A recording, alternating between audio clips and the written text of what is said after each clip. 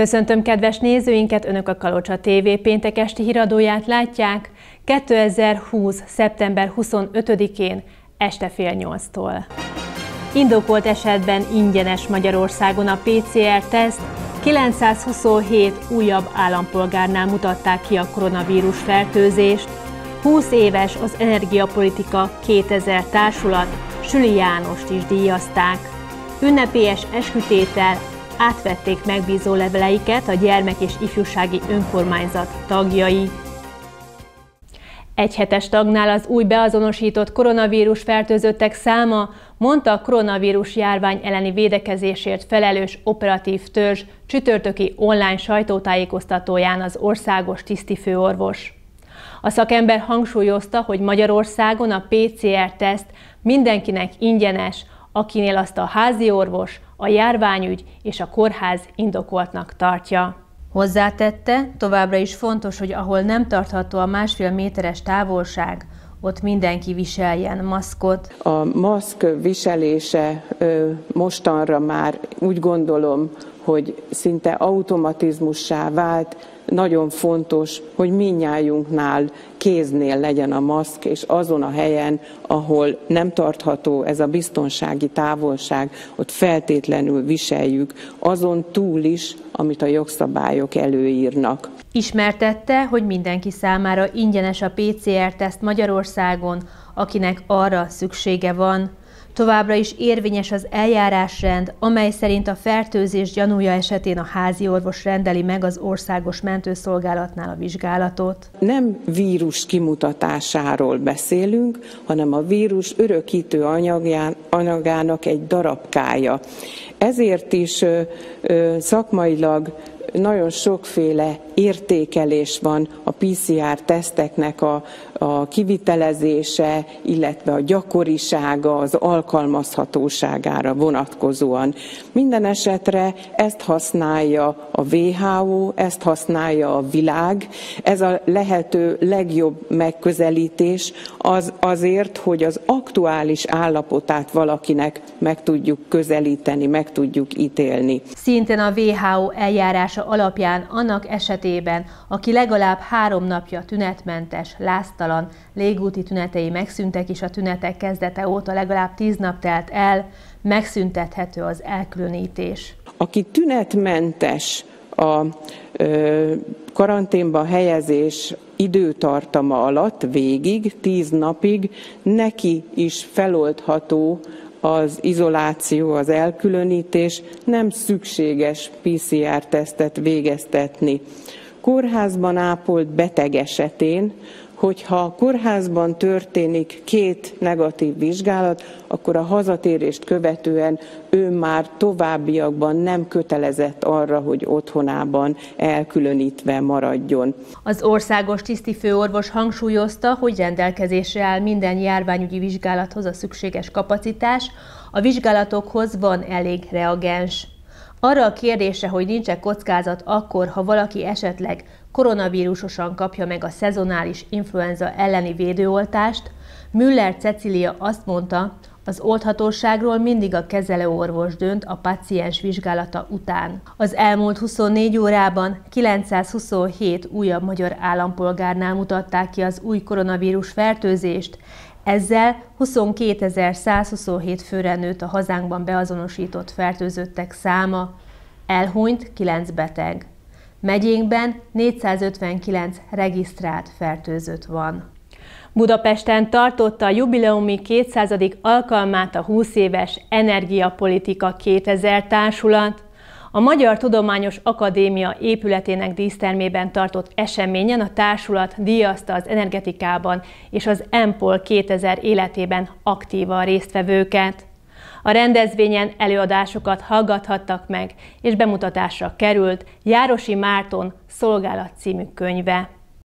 A 2000-ben megalapított társulat célul tűzte ki a közjó érdekében azt a szakmai és közéleti tevékenységet, ami a nemzeti elkötelezettségű, környezetbarát energiapolitika kidolgozásának segítésére, népszerűsítésére és védelmére törekszik. Lévai András professzor szellemi örököseinek nyilvánította a társulást. Mi azt mondjuk, hogy mi energiapolitikai társulat vagyunk. Mi büszkén vállaljuk a politikai megnevezést, mert hiszen a politikának a közösség érdekét kell szolgálni. Egy valódi civil szervezet nem is lehet más, mint a haza iránt elkötelezett. A jubileumi esemény alkalmából Nemzeti Energetikáért Lévai András díjat vehetett át Süli János, dr. Strobl Alajos, dr. Valaska József, Molnár Pál, valamint posztumusz díjat adtak át dr. Bükki Gergely özvegyének. Azt jelenti, hogy valaki figyelembe vette a szakmai munkámat. Ennyit jelent, de ugye múltkor volt egy interjú pont velem, amikor a Tolna megyei díjat megkaptam, ott is az világos volt, mindenki tüntetett, mondta, hogy nem csinál a nagy dolgot, csinálja, amit eldöntött valamikor. És akkor itt is erről szólt az egész. És hogy van a Járosi úrnak is egy küldetése, egy útja, amin próbál végigmenni.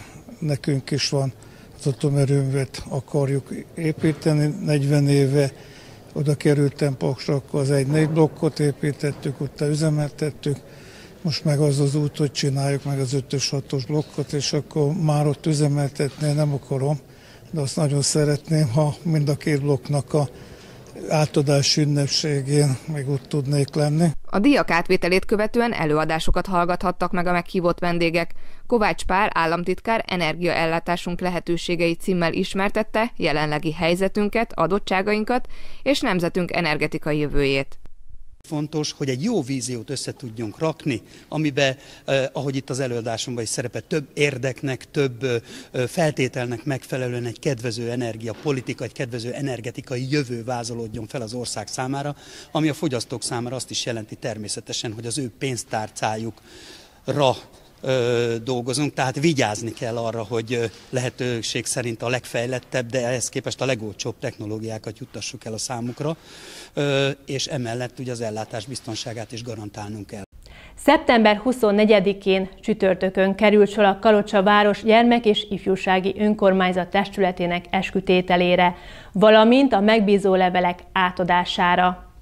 A polgármester és a képviselők ünnepélyes beavatási ceremóniáját a Városháza dísztermében tartották meg. Hosszú hónapokat vártak a Kalocsaváros gyermek és ifjúsági önkormányzat tagjai arra, hogy letehessék esküjüket és átvehessék megbízó levelüket.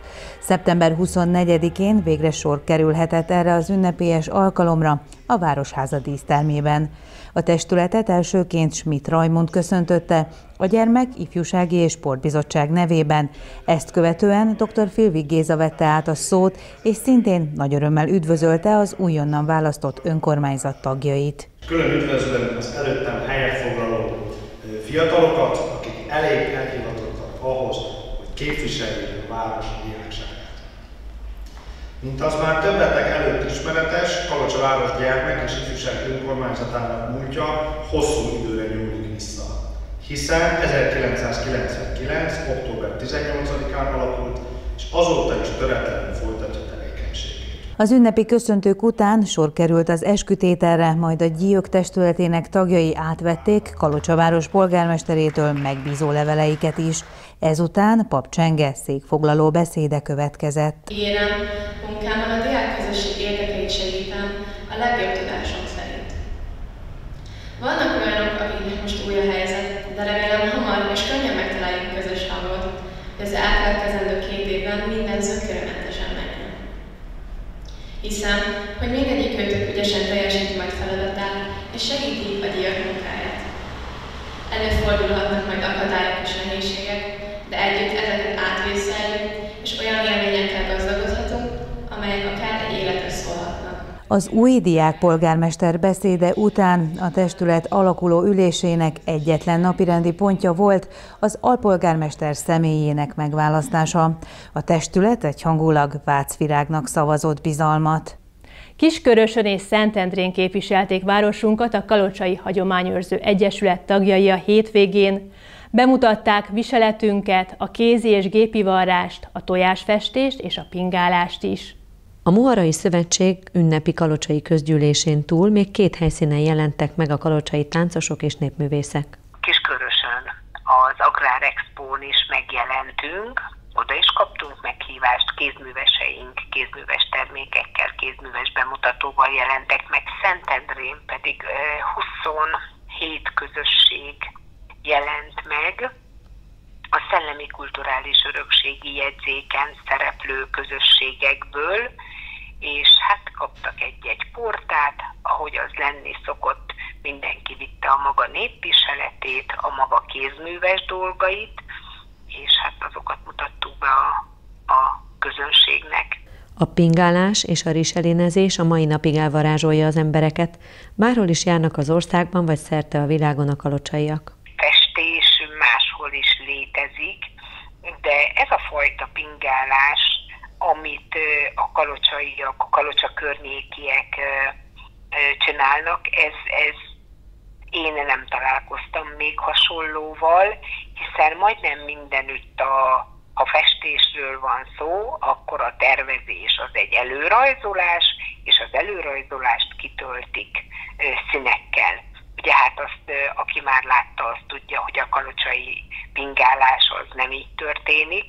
Itt a tervezés egészen más, nincs előrajzolás, színes foltok, és hát ahogy kerülnek rá a kontúrok, úgy rajzolódnak ki a gyönyörű, gyönyörű virágok. Az elmaradt művészetek völgye helyett úgynevezett völgyhétvége lesz szombaton és vasárnap. Arra kaptak meghívást a kalocsaiak. Kapolcsra kapott meghívást nem csak a mi egyesületünk, hanem gyakorlatilag a kalocsai táncosok közül a Fülöp Ferenc díjas táncosok, így aztán többen is a városból Kapolcson lesznek a művészetek völgyében, ott kalocsai blokk is lesz, táncos, illetve népviseleti bemutatót fogunk tartani. Tizedik címmel került megrendezésre Körösi Tamás önálló kiállítása Kiskörösön.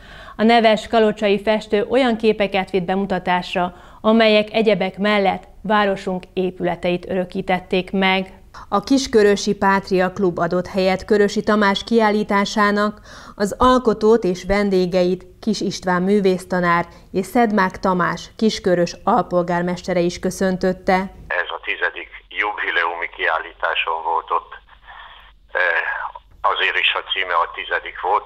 Főképpen tájképeket, de van több épület ábrázolás is, Kalocsáról is vittem, az van a meghívón is, a Piasz téren. A tűzoltósággal szemben azt biztos ismeri mindenki, az a régi tűzfal, meg az a három szögletű ház, de a meghívómon meg lehet nézni.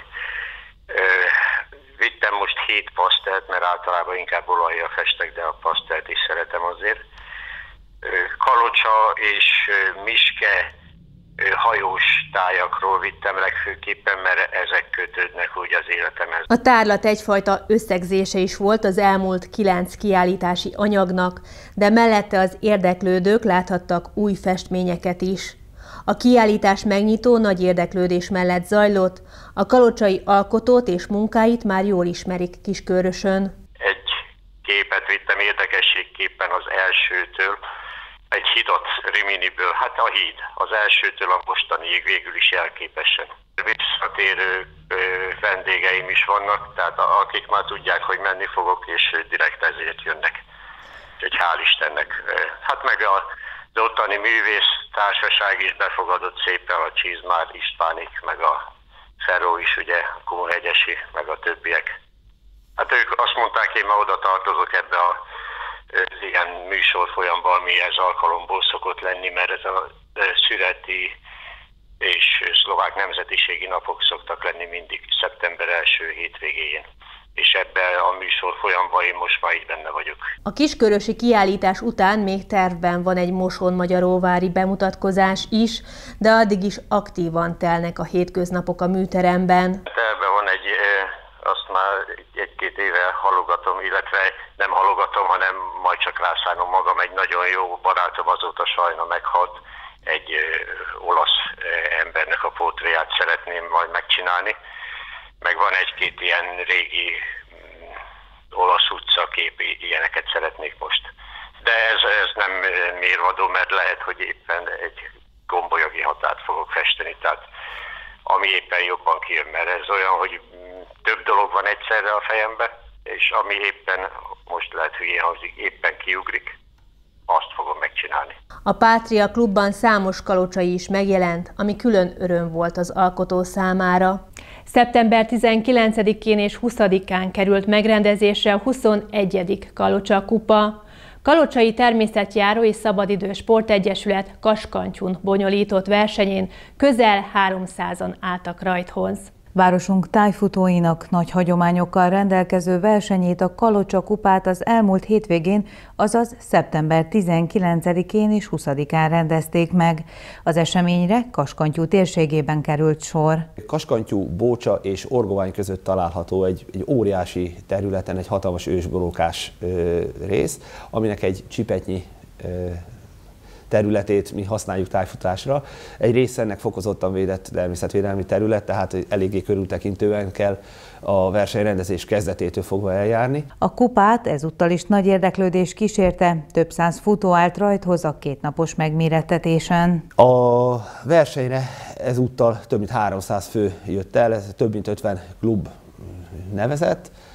Hál' Istennek ez már egy szép, szép szám. Természetesen az országos bajnokságokon 500-600 fő fölött, egyes versenyeken 1000 fős létszám is van, de ezt körülbelül így kell elképzelni, hogy ez egy országos rangsoroló verseny volt. Ez a 300 fő ebben a mai helyzetben, én azt mondom, hogy ez egy korrekt és jó létszám. Három futamot rendeztünk, szombat délelőtt volt egy középtáv, este egy éjszakai futam, ami, ami egy standard erdőben is érdekes tud lenni, főleg ebben a borókásban, és vasárnap pedig egy klasszikus normál táv. A Kalocsai Egyesület leginkább a szervezésben volt érintett, tagjai a verseny lebonyolításában tevékenykedtek, azonban akadtak olyanok is, akik rajthoz tudtak állni. Néhány, néhány versenyzőnk, az 50 fős egyesületünkből néhány versenyzőnk azért elindult a a versenyen. Ők jó eredményt is értek el, a Dénes Orsi a 21B rövidben nőknél ö, első helyezett lett, Csuka, Csuka Betti ugyanebben a kategóriában ötödik helyezést ért el, és hát a gyerekeknél az én két gyerekem, a kislányom Baksa Lili, ő harmadik helyezést ért el a tíz évesek között, a fiacskám pedig az tíz éves fiú között ötödik helyezést ért el. A tervek szerint a népszerű sporteseményt a jövő évben is megrendezik. Ha az Egyesület kapacitása engedi, akkor nagy eséllyel egy új terepen. Kedves nézőink, köszönöm, hogy velem tartottak. Híradóval és friss hírekkel legközelebb hétfőn jelentkezünk. Híreinket megtekinthetik a Kalocsa TV honlapján. További szép estét és jó hétvégét kívánok! Viszontlátásra!